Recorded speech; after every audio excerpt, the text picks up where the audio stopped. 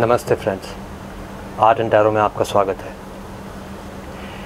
Every suit of tarot represent a kind of an energy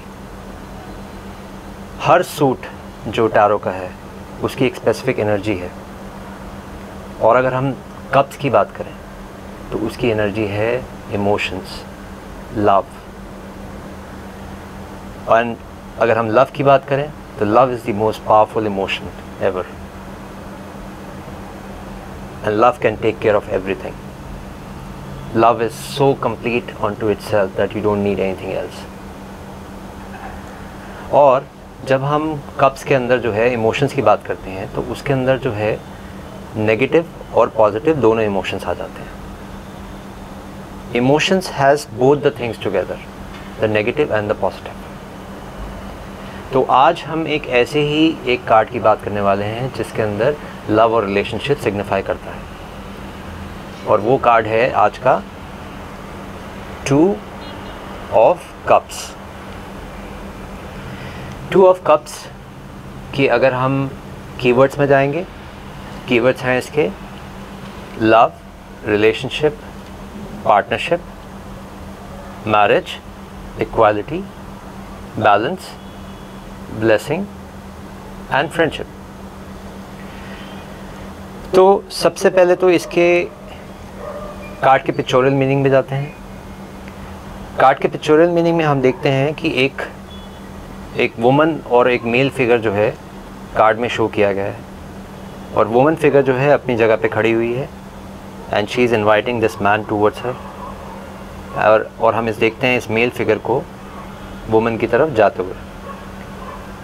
ऊपर हम symbol देखते हैं कडेशियस का और एक लाइन विद विंग्स इसकी सिम्बॉलिज़म में जो है, हम बाद में जाएँगे, इसके गहरे मीनिंग में। और इसके पीछे हम देखते हैं एक जो है हिल्स पे एक घर बना हुआ है। ठीक है तो अब इसके मीनिंग में उतरते हैं। जब भी टू ऑफ़ कप्स आता है बहुत सारे टैरो रीडर्स के लिए ये जो है, ये कार्ड माना जाता है the card of soulmate it's a card for someone you been looking for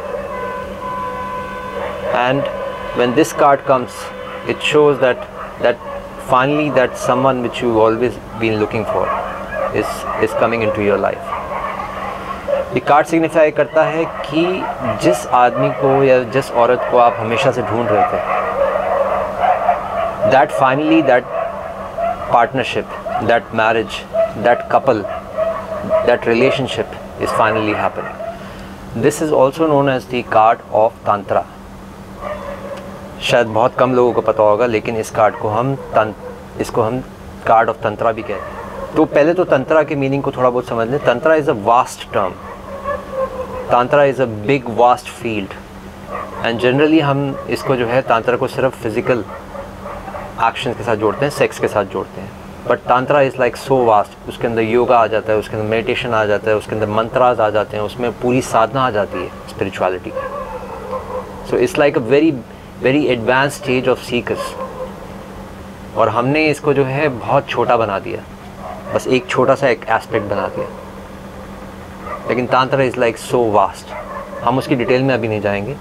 अभी सिंपली मैं आपको ये बताना चाह रहा हूँ, यहाँ पे इसको तांत्रा कार्ड इसलिए कहा जा रहा है क्योंकि यहाँ पे it stand for the merging of yin and yang energies जिसके अंदर जो है मेल और फीमेल एनर्जीज जो हैं मर्ज हो रही हैं। एक साथ जो है, मिल रही हैं। जहाँ पे टू जो है वन हो रहा है। दो जो है, एक बन रहा है, एक यूनिटी एक क्रिएट हो रही है।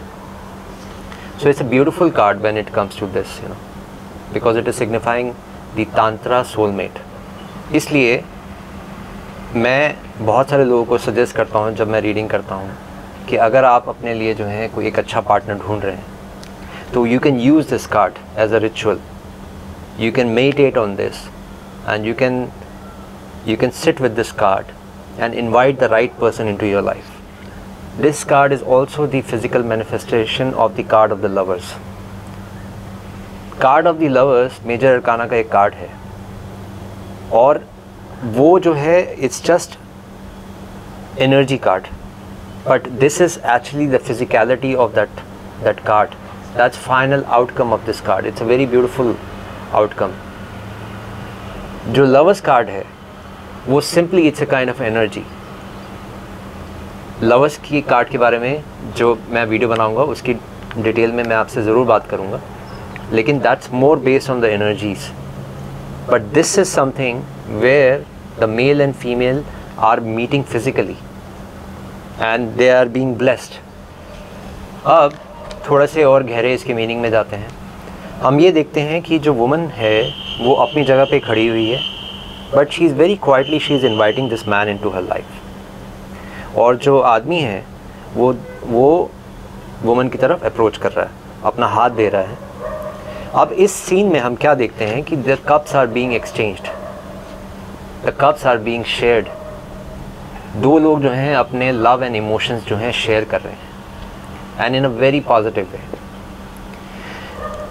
अब एक तो मैं थोड़ा सा आपको इसके बारे में बताना चाहूँगा कि why woman is not approaching and why a man is approaching जैसे मैंने पहले बात करी कि टैरो के अंदर एक एक चीज़ का मतलब होता है.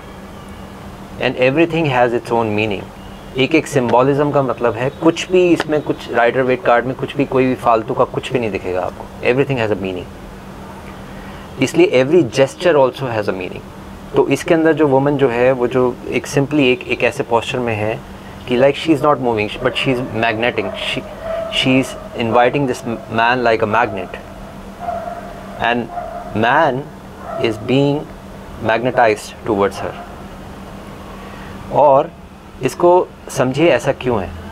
वाई क्योंकि आप में से कोई शायद सवाल पूछ सकता है कि why women is not approaching why man is approaching because that's how the way of existence is that's how our universe is that man approach and it's it's always the woman which receives and इसमें जो है हम ये बात भी कह सकते हैं कि भाई इसमें इक्वालिटी की बात नहीं लगे शायद। हम ये कह सकते हैं कि वुमन जो है हर काम कर सकती है। लेकिन मैं आपको यहाँ पे ये बोलना चाहता हूँ, बिल्कुल कर सकती है। वो सारे काम जो वुमन कर सकती है, वो आदमी कर सकता है, और जो सारे काम जो आदमी कर सकता है, वो वुमन कर सकती है। लेकिन आपको समझना है, मैं बात कर रहा हूँ एनर्जीज़ की। वुमन जब मैन के काम करेगी तो she will have to be like a masculine और जब आदमी जो है, जब वुमन का काम करेगा he will have to be like feminine he will have to see his feminine side for example अगर वुमन जो है पुलिस में काम करेगी तो she will have to explore her masculine side and when a man is going to do a stage performance of dancing, he will be more exploring his, her feminine, his feminine side. तो मैं जो बात कर रहा हूँ, वो energies की बात कर रहा हूँ। इसलिए the things which come very natural to you as a man if you do that then blessing in grace happens very quickly and easily and as a woman if you do things which suits you and which comes to you very naturally then grace and blessing happens to you also very naturally अब आप पीछे अगर notice करेंगे, वो जो घर है, उसका जो है, जो मीनिंग जो बनता है मीनिंग जो है, वो ये बनता है It stands for their unity together It stands for the life which they have decided to live together in that same house, which is a very positive sign, which shows that they have not only decided to live together, but they have planned their life together. और आखिरी में मैं बात करना चाहूँगा कार्डोशियस symbol के बारे में कार्डोशियस सिंबल जो है, वो मेडिकल प्रोफेशन के अंदर भी आप इस सिंबल को देखते हैं। And it stand for healing और कैडुशियस के साथ एक कहानी भी जुड़ी हुई है। पहले तो कैडुशियस सिंबल को समझें। कैडुशियस सिंबल जो है, एक वॉन्ड है बीच में और आसपास जो है सरपंच है। आसपास जो है दो स्नेक्स हैं, जो कि एक एक परफेक्ट एक बैलेंस क्रिएट कर रहे हैं। और वो जो कैडुशियस सिंबल है it comes from Greek and Roman culture और इसको कैरी करता है हर्म्स गॉड या मरकरी तो कार्ड्यूशियस जो है, उसका जो मेन जो सिंबल है, जो हम मेडिकल प्रोफेशन के साथ भी जोड़ते हैं, वो है healing so this relationship is very beautiful between these two people it is based on healing कि ये एक तो ये हमें पता चलता है कि ये जो ये जो मेल और फीमेल एनर्जी है they have come a long way they have experience different relationship they have experience lord of life they have experience pain and after experiencing all this they have come to a stage where they have met someone equal soul mate और उनके cups भरे हुए हैं।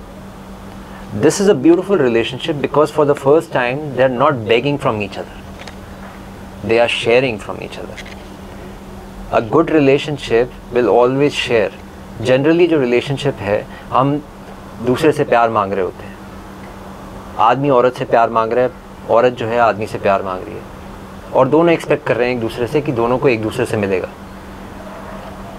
लेकिन मिलता किसी को नहीं और रिलेशनशिप जो है और ख़राब होता चला जाता है। लेकिन जब आप एक ऐसी स्टेज में हैं, जब when you are filled within yourself that is the stage where you should actually decide to be with someone. Not before that, because then you will have something to share with that person. इससे पहले तो आपके पास कुछ share करने को है ही नहीं। इससे पहले तो आप दूसरे को चूसेंगे। आप दूसरे का ब्लड जो है बस चूसेंगे। और इससे ज़्यादा तो कुछ होने नहीं वाला। So the right relationship is something which shares and it grows and it becomes more and more beautiful each and every day this is what the two of cup stand for अब इसके जो है, इसका जो last symbol है the lion with two wings उसको भी मैं आपको समझाना चाहूँगा। Lion stand for the king the authority the dharma the universal law which is actually signifying in this card is that it is blessing this couple कि ये जो relationship है वो एक्सेप्टेड है फ्रॉम द यूनिवर्सल लॉ मतलब इस relationship को जो है, भगवान भी एक्सेप्ट करता है। इस रिलेशनशिप को जो है एग्जिस्टेंस और यूनिवर्स भी एक्सेप्ट करते हैं. That is what this lion symbol stand for और विंग्स विंग्स क्यों है? Wing stand for freedom and enlightenment